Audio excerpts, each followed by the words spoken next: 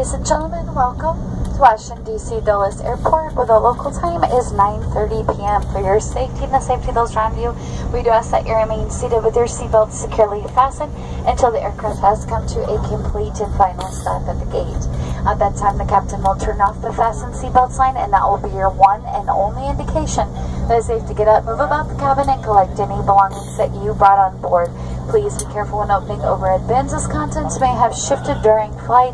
Please do not smoke until reach a designated smoking area inside or outside of the terminal for those of you who gate checked your bags with green tags and left them in the jet bridge back in Buffalo. They'll be available for you here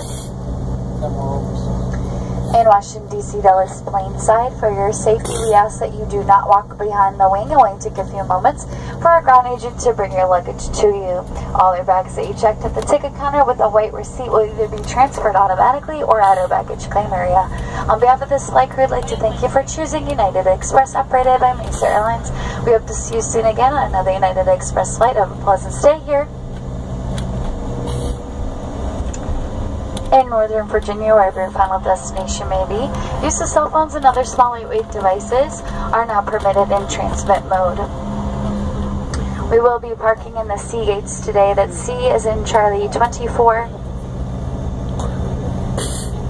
There's a map in the back of your Hemispheres magazine in your seat back pocket if you're unfamiliar with the Washington, D.C. Dulles Airport. And we do ask as a courtesy to our passengers making tight connections. If you have a long layover in Dulles or your final destination is Dulles, if you can remain seated so we can get the passengers off with tight connections first, that's greatly appreciated. Once again, thank you and welcome to Washington, D.C. Dulles.